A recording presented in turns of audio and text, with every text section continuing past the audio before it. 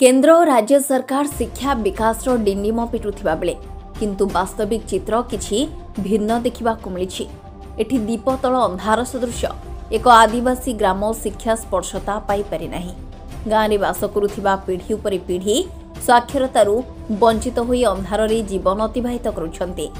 ସରକାରଙ୍କ ସମସ୍ତ ଗରିବ କଲ୍ୟାଣ ଯୋଜନାର ଲାଭାର୍ଥୀ ହୋଇ ସୁଦ୍ଧା ଯୋଜନାକୁ ଠିକ୍ ଭାବରେ ଉପଭୋଗ କରିପାରୁନାହାନ୍ତି ଗ୍ରାମବାସୀ। ଏହିପରି ଏକ ଅଭାବନୀୟ ଚିତ୍ର ଦେଖିବାକୁ ମିଳିଛି। ରାୟଗଡ଼ା ଜିଲ୍ଲା ମୁନିଗୁଡ଼ା ବ୍ଲକ ଅଧୀନସ୍ଥ ଘମଟଗୁଡ଼ା ପଞ୍ଚାୟତର ଜାମଯୋଡ଼ି ଗାଁରେ। ସମାଜରେ ଆଜି ଶିକ୍ଷା ପରି ଏକ ମୌଳିକ ଅଧିକାରରୁ ଉପେକ୍ଷିତ ଓ ଅବହେଳିତ ସମଗ୍ର ଗ୍ରାମବାସୀ। ଜାମଯୋଡ଼ି ଗାଁଟି ଏକ ସମ୍ପୂର୍ଣ୍ଣ ଆଦିବାସୀ ଗ୍ରାମ। ଏହି ଗାଁକୁ ଯିବାକୁ ହେଲେ ପୂର୍ତ୍ତ ବିଭାଗ ରାସ୍ତାରୁ ପ୍ରାୟ ଏକ କିଲୋମିଟର ଭିତରକୁ ଏକ କଚ୍ଚା ରାସ୍ତା ଦେଇ ଯିବାକୁ ପଡ଼େ। ଷୋହଳରୁ ଅଠର ଆଦିବାସୀ ପରିବାର ପ୍ରାୟ ପିଲାଠୁ ବୁଢ଼ା ଷାଠିଏରୁ ସତୁରି ଜଣ ଜାମଯୋଡ଼ି ଗାଁରେ ବସବାସ କରନ୍ତି। ପେଶାରେ ସମସ୍ତେ ଦିନ ମଜୁରିଆ। ଗାଁର କିଛି ଯୁବକ ଯୁବତୀ ସୁଦୂର କେରଳ ଓ ଆନ୍ଧ୍ରପ୍ରଦେଶ ରାଜ୍ୟକୁ ଦାଦନ ଖଟିବାକୁ ଯାଆନ୍ତି। ଜାମଯୋଡ଼ି ଗାଁର ପ୍ରାୟ ପଚିଶରୁ ତିରିଶ ପିଲା ଶିକ୍ଷା ପାଇବାର ଯୋଗ୍ୟତା ଥାଇ ସୁଦ୍ଧା ଶିକ୍ଷାଦାନରୁ ବଞ୍ଚିତ ହୋଇ ନିରକ୍ଷର ଜୀବନ କାଟୁଛନ୍ତି। ଗାଁରେ ଜଣେ ହେଲେ ହେଁ ସ୍ୱାକ୍ଷର ଲୋକ ନାହିଁ। ଜାମଯୋଡ଼ିର ପିଲାଙ୍କ ଭବିଷ୍ୟତ ବର୍ତ୍ତମାନ ଅନ୍ଧାରରେ ଝୁଲୁଛି। ନିକଟରେ ଥିବା ଶିକ୍ଷାନୁଷ୍ଠାନ ସରକାରୀ ଉଚ୍ଚ ପ୍ରାଥମିକ ବିଦ୍ୟାଳୟ ବିରିପୁଡ଼ା ଯାହାକି ଜାମଯୋଡ଼ି ଗାଁରୁ ପ୍ରାୟ ଦେଢ଼ରୁ ଦୁଇ କିଲୋମିଟର ଯେଉଁଠି ପିଲା ଯେଉଁଥିପାଇଁ ପିଲା ବିଦ୍ୟାଳୟ ଯିବାକୁ ପଛଘୁଞ୍ଚା ଦେଉଛନ୍ତି ଯାହାର ମୁଖ୍ୟ କାରଣ ଶିକ୍ଷାର ଅଭାବରେ ଅଭିଭାବକମାନେ ଘମଟଗୁଡ଼ା ବିଦ୍ୟାଳୟରେ ଜାମଯୋଡ଼ି ଗାଁର ପିଲାଙ୍କ ନାମ ଲେଖାଯାଇଛି ସତ। କିନ୍ତୁ ବିଦ୍ୟାଳୟକୁ କାଁ ଭାଁ କେବେ କେମିତି ଜଣେ ଦୁଇ ଜଣ ତାହା ମଧ୍ୟ ପ୍ରଧାନ ଶିକ୍ଷକ ଗାଁକୁ ଯାଇ ଡାକିଲେ। ଆସୁଥିବା ବିଦ୍ୟାଳୟର ପ୍ରଧାନ ଶିକ୍ଷକ ଗୋବିନ୍ଦ ଚନ୍ଦ୍ର ଗୌଡ଼ ପ୍ରକାଶ କରିଛନ୍ତି।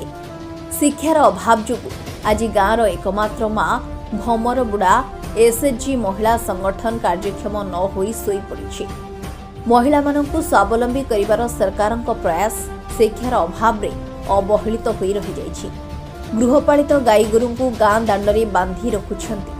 ଗାଁରେ ଏତେ ଗାଈ ଥିଲେ ସୁଦ୍ଧା ଗାଈ ଗୁହାଳ ପାଇବାରୁ ବଞ୍ଚିତ ଗ୍ରାମବାସୀ। ଆବାସ ଯୋଜନାର ସମସ୍ତ ପରିବାର ହିତାଧିକାରୀ ଯୋଗ୍ୟ ଥାଇ ସୁଦ୍ଧା ବଞ୍ଚିତ ହୋଇଛନ୍ତି କିଛି ପରିବାର।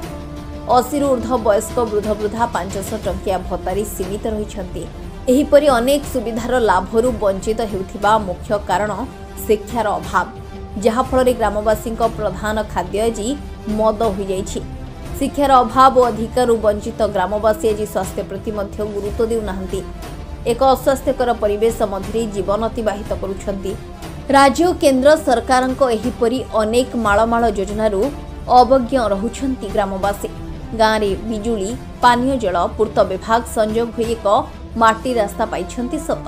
କିନ୍ତୁ ଶିକ୍ଷା ପରି ଗୁରୁତ୍ୱପୂର୍ଣ୍ଣ ଆଲୋକରୁ ବଞ୍ଚିତ ଗ୍ରାମବାସୀ। ଯେଉଁଥିପାଇଁ ଆଜି ଗାଁର ଭବିଷ୍ୟତ ଅନ୍ଧାରରେ କହିଲେ ଅତ୍ୟୁକ୍ତି ହେବ ନାହିଁ। ଶିକ୍ଷାର ବିକାଶ ପାଇଁ ସରକାର ଓ ପ୍ରଶାସନ କିପରି ତତ୍ପର ହେବ ଗ୍ରାମବାସୀଙ୍କୁ କିପରି ସଚେତନ କରାଇ ପିଲାଙ୍କୁ ବିଦ୍ୟାଳୟ ମୁହାଁ କରିବ ଏହା ଦେଖିବାକୁ ବାକି ରହିଲା। ତେବେ ଗାଁରେ ଗୋଟିଏ ସ୍କୁଲ କରିବା ପାଇଁ ଗ୍ରାମବାସୀ ଓ ସରପଞ୍ଚ ସରକାରଙ୍କୁ ଅନୁରୋଧ କରିଛନ୍ତି। ବିଷମ କଟକରୁ କମଳାକାନ୍ତ ବାତ୍ରାଙ୍କ ରିପୋର୍ଟ ଟାଇମ୍ସ ନଡ଼ିଆ